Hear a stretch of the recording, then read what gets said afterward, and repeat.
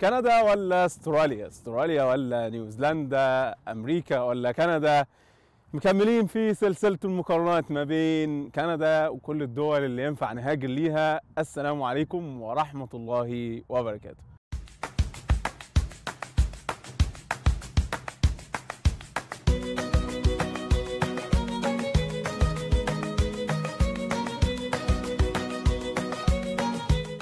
النهارده إن شاء الله هنتكلم عن أستراليا وكندا. طب أنت عملت فيديو قبل كده؟ صحيح أنا ما عملت فيديو قبل كده ما بين أستراليا وكندا. اللينك موجود أعلى الشاشة. ما دخلناش في التفاصيل اللي تهم موضوع الهجرة إلى أستراليا. أنا لأني ما كانش عندي خبرة بالموضوع ده. الحمد لله ربنا وفانا. وصلنا إلى دكتور محمد كمال.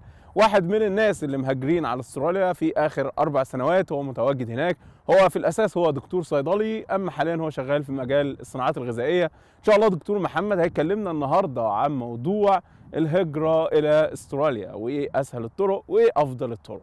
أهلا بيك يا بلال وشكرا على استضافتي معاك في القناة. أهلا بيكم يا جماعة أتمنى تكونوا بخير وبصحة وسلامة. أه الحقيقة زي ما بلال قال أه أنا بقالي أربع سنين تقريبا في أستراليا. أه عامل قناة يوتيوب أه بتهتم بكل تفاصيل الهجرة والحياة في أستراليا. لو مهتمين بالمواضيع ديت يا ريت تتابعونا على ال link اللي هيظهر أعلى الشاشة. النهارده أنا جاي مع بلال يا جماعة عشان نقول لكم على طرق السفر والهجرة لأستراليا. هنخش في كل التفاصيل. إيه هي طرق السفر اللي تقدر تسافر بيها؟ انواع الفيز بتاعت الهجرة الامتحانات اللي محتاج تعملها امتحانات الإنجليزي المعادلات كل الكلام ده هنتكلم عليه النهارده بالتفصيل. فيلا بينا نبدأ موضوعنا ويلا بينا نبدأ الفيديو بتاعنا عن طرق الهجرة لاستراليا. طيب خلينا نبدأ يا جماعة بطرق السفر لاستراليا. طبعا أول طريقة للسفر لاستراليا هي الهجرة ودي طبعا اللي كلنا بنفكر فيها. في كذا فيزا موجودة للهجرة لاستراليا بتديك إقامة دائمة على طول من أول يوم وفي فيز ثانية بتبقى مؤقتة في الأول وبتحولها لإقامة دائمة بعد كده. هنتكلم في تفاصيلهم وشروطهم وإيه الفروقات بينهم في آخر الفيديو فخليكم معانا. الحاجة الثانية اللي ممكن تسافر بيها هي فيزا الدراسة. والحقيقة فيزا الدراسة لأستراليا هي من أسهل الفيز اللي أنت تقدر تسافر بيها أستراليا. سهل جدا إن أنت تاخد فيزا دراسة سواء أنت كنت under graduate يعني لسه هتخش الجامعة أو لسه في الجامعة أو كنت postgraduate سواء بتعمل ماجستير أو بتعمل دكتوراه أو دبلومة بعد التخرج. عيب بس الفيزا ديت إن هي بتبقى مكلفة شوية في الأول ولكن هي سهل جدا قبولها والتحرك بعد كده فيها ان انت تاخد اقامة دائمة بعد كده في استراليا بكذا طريقة وهتلاقوا شرح بالتفصيل يا جماعة لازاي تاخد فيزا الدراسة لاستراليا موجودة في الفيديو اللي هيظهر أعلى الشاشة وكمان هسيبه لكم في ال description إن شاء الله. الحاجة الثانية هي ال working visa أو اللي هي فيزا العمل. الحقيقة فيزا العمل في استراليا ديت بقى من أصعب الفيز اللي بتتاخد.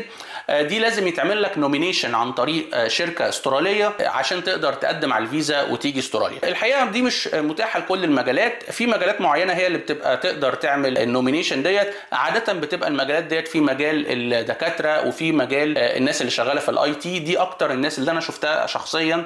بيقدروا يجوا على فيزا العمل. لكن هي مش من أنواع الفيزا السهلة اللي كل الناس تقدر تقدم عليها. لازم تكون في تخصصات نادرة. الفيزا اللي بعد كده هي يا جماعة ال partner visa أو اللي هي فيزا الزواج أو الخطوبة.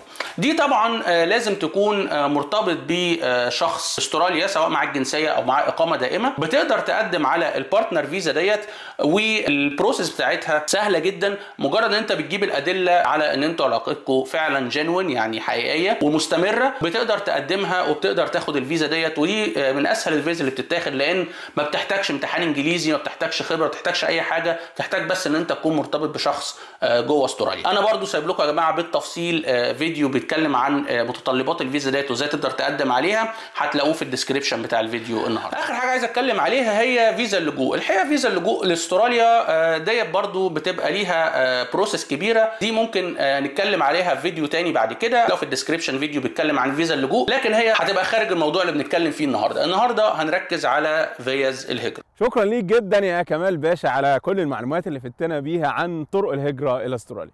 بعد لما عرفنا عن طرق الهجرة لاستراليا حابين نعرف منك عن فيز الهجرة. إيه هي فيز الهجرة إلى أستراليا؟ بالظبط كده يا بلال. هو ده اللي إحنا عايزين نركز عليه النهارده هو أنواع الفيز بتاعة الهجرة لأستراليا. أنواع الفيز الهجرة لأستراليا كتيرة ولكن أنا عايز النهارده أركز على ثلاث أنواع منهم اللي هم أشهر أنواع اللي هم بنسميهم فيزا العمالة الماهرة أو ال skilled immigrant في ثلاث فيز أساسيين في الموضوع دوت.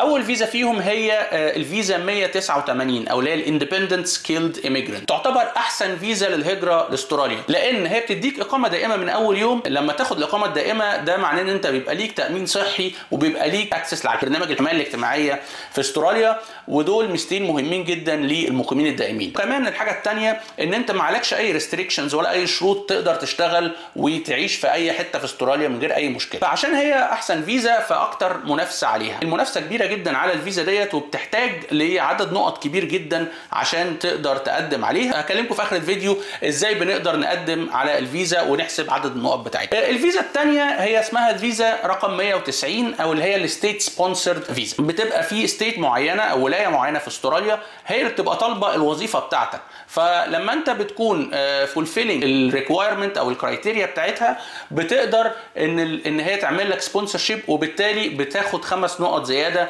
بيساعدوك ان انت تقدم على الفيزا وتاخد الفيزا بطريقة اسهل. برضو الفيزا 190 بتديك إقامة دائمة من أول يوم آه ليك التأمين الصحي وليك برنامج الرعاية الاجتماعية من أول يوم لكن هي فيها شرط صغير الشرط دوت إن أنت لازم تعيش في الولاية اللي عملت لك sponsorship لمدة أول سنتين. فعشان كده هنلاقي إن المنافسة عليها أقل شوية من ال 189 ولكن برضو still لسه عليها منافسة كبيرة. طيب في بقى الفيزا الثالثه اللي هي بيسموها فيزا 491 تديك إقامة مؤقتة لمدة أربع سنين. وبعد كده بتقدر تقدم على الإقامة الدائمة بعد ثلاث سنين من وصولك استراليا.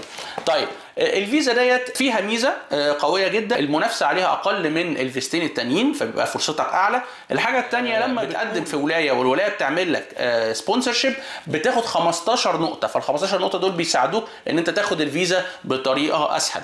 لكن طبعا زي ما إحنا قلنا دي فيزا مؤقتة فهي عشان فيزا مؤقتة ما بيبقاش ليك access على برامج الحماية الاجتماعية ولكن بيبقى ليك access على ال Medicare اللي هو التأمين الصحي الحكومي ودي حاجة كويسة جدا. الحاجة الثانية إن الفيزا دي بيبقى ليها شرطين مهمين جدا. أول شرط إن أنت لازم تعيش في حتة regional area اللي هي يعني حتة خارج المدن الكبيرة في استراليا. طبعا أكبر من ثلاث مدن في استراليا هم سيدني وميلبورن وبريسبن فأنت لازم تعيش أو أول ثلاث سنين خارج المدن الكبيرة ديت عشان تقدر تقدم على الإقامة الدائمة. الحاجة الثانية أنت لازم تكون شغال أي شغلانة مش شرط تكون في مجالك لكن شغال بحد أدنى مرتب 53 ألف دولار سنويا. ده يعتبر قرب الحد الأدنى للدخل في استراليا. لازم يكون تحقق الشرطين دول وبعد ثلاث سنين من قعدك في استراليا تقدر تقدم على الفيزا الإقامة الدائمة. فطبعا زي ما إحنا شايفين الفيزا ديت مش زي الفيزتين التانيين فالمنافسة عليها أقل ولكن طبعا بتبقى فرصتنا أكبر إن إحنا نتقبل فيها لأن المنافسة شديدة جدا على الفيزتين التانيين. كل التفاصيل دي يا جماعة هتلاقوها في الفيديو اللي هيظهر أعلى الشاشه وكمان هتلاقوها في الفيديوهات اللي موجودة في ال description بتاع الفيديو هنا. بيتكلم عن كل نوع من أنواع الفيز ده بالتفصيل وطرق التقديم عليها والمزايا والعيوب بتاع كل واحدة فيها طب ده كلام عالي العال يعني معلومات فعلا أنا أول مرة أسمع عنها. شكرا ليك جدا يا محمد. المرة الثانية حابين نعرف منك بقى أنا إزاي أقدم على الهجرة لأستراليا؟ طب هل أعرف إزاي إن أنا وظيفتي مطلوبة عندكم في أستراليا؟ يا ريت تزودني بالكلام عن الموضوع ده. حلو قوي يا بلال. نخش بقى في المفيد ونعرف إزاي طريقة التقديم على فيز الهجرة لاستراليا الحقيقة فيز الهجرة لاستراليا بتعتمد على نظام النقاط. اللي بيحصل إيه؟ إن هم بيجيبوا الناس اللي مقدمة كلها ويرتبوهم كل واحد حسب النقط بتاعته. والأعلى نقط هم مثلا عندهم 100 فيزا هياخدوا أول 100 وهم دول اللي هياخدوا الفيزا بعد كده ياخدوا ال 100 اللي بعديهم وهكذا. فكل ما تبقى النقط بتاعتك أعلى كل ما فرصتك إن أنت تطلع في الترتيب تبقى أفضل وبالتالي فرصتك إنك تاخد الفيزا تبقى أفضل. طيب النقاط ده بتعتمد على إيه يا جماعة؟ النقاط ده بتعتمد على المؤهل الدراسي بتاعك على عدد سنين الخبرة على ال level بتاعك في الإنجليزي. هل أنت متجوز ولا مش متجوز؟ لو مش متجوز بتاخد 10 نقط إضافية. لو متجوز لازم مراتك أو زوجك يعادل الشهادة بتاعته ياخد خمس نقط. لو عمل امتحان الإنجليزي ياخد خمس نقط كمان. في عوامل كتيرة جدا بتخش في موضوع حساب النقاط ديت وممكن تشوفوا الفيديو اللي أنا حاطه في ال description. شرح بالتفصيل النقط وإزاي تزود النقط بتاعتك وإيه الحاجات اللي تعملها عشان تزود النقط اتفرجوا عليها هيبقى مفيد جدا. طيب حلو قوي أه حاجة كمان عايز أقولها لكم يا جماعة بالنسبة لامتحانات الإنجليزي. استراليا فيها ميزة كبيرة جدا عن كندا إن هي بتقبل امتحانات إنجليزي مختلفة. بتقبل أي امتحان إنجليزي أه تويفل ايلتس أو اي تي بي تي اي امتحانات كتيرة جدا بتتقبل. أنا شخصيا برشح لكم امتحان ال PTE لأن امتحان ال PTE دوت بتقدر آه، تجيب فيه score عالي جدا أعلى من بكتير من إن أنت تقدر تجيبه في امتحان ال IELTS لو بنفس مستوى الإنجليزي. فبرضه هتلاقوا في ال description شرح إيه هو امتحان ال PTE وإزاي تقدر آه، تجيب فيه score عالي عشان يساعدك إن أنت تزود النقط بتاعتك وبالتالي يبقى ليك فرصة أكبر في الهجرة. طيب هنيجي بقى للسؤال المهم. أنا إزاي أعرف إذا كان آه، شغلانتي مطلوبة ولا لأ؟ وهل محتاجة معادلة ولا مش محتاجة معادلة؟ وكل الأسئلة اللي بتدور في بالكم ديت آه، إزاي نعرفها. الحقيقة يا جماعة في website اسمه ANZSCO search. هسيب لكم ال link بتاعه آه، في ال description. ال website دوت هتخش عليه هتكتب المسمى الوظيفي بتاعك. بي- بيقول لك بقى ال website هل الشغلانة ديت مطلوبة ولا لأ؟ في استراليا.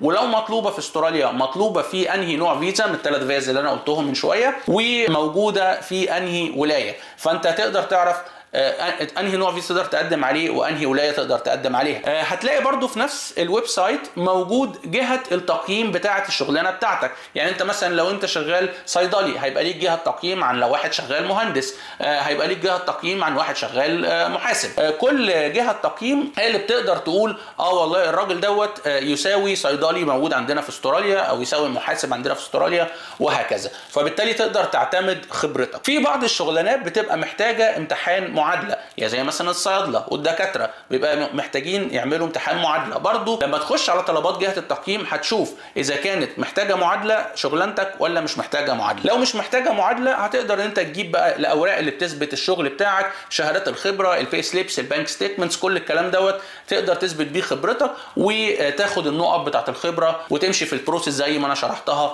بالنسبة لموضوع النقط. وبرضو يا جماعة هتلاقوا في ال description بتاع الفيديو الموضوع دوت مشروح بالتفصيل ونقطة نقطة واخدكم آه، خطوة خطوة في ال website دوت تشوف كل حاجة إزاي هتلاقوها موجودة في ال description. زي الفل تسلم جدا يا كمال باشا على كل المعلومات اللي أنت فدتنا بيها عن أستراليا. بصراحة ده يعني أنا واحد من الناس استفدت جدا أكيد الناس برضه استفادت جدا. أما بخصوص كمال باشا هو مش فقط طالع معاه الحلقة دي محمد كمال من الناس ما شاء الله عندهم قناة يوتيوب. الناس المهتمية تعرف عن أستراليا أكتر تعرف عن الحياة في أستراليا. انصحكم تتابعوا محمد كمال من الناس الكويسين جدا وبيتكلم بجد بواقعية من الواقع في استراليا. شكرا جدا يا محمد إن أنت نورتنا النهارده. بس كده آه أنتوا بقى قرروا كندا ولا استراليا؟ طب طرق الهجرة لكندا أنا عامل فيديو قبل كده ال link موجود على الشاشة. أربع طرق الهجرة لكندا. اتكلمت بالتفصيل عن كل نظام منهم. موجود أسفل الفيديو واي استفسارات أنا موجود في الخدمة. كل الروابط موجودة أسفل الفيديو وظاهرة قدامكم على الشاشة. بس كده خلصنا النهارده. إذا عجبك الفيديو وحاسس إن هو ضاف ليك معلومة جديدة اتأكد إنك ضاغط subscribe أو إشتراك فعل زر الجرس عشان تكون أول واحد يشوف الفيديو. يلا نتمنى أشوفكم في خير وعلى خير والسلام عليكم ورحمة الله وبركاته.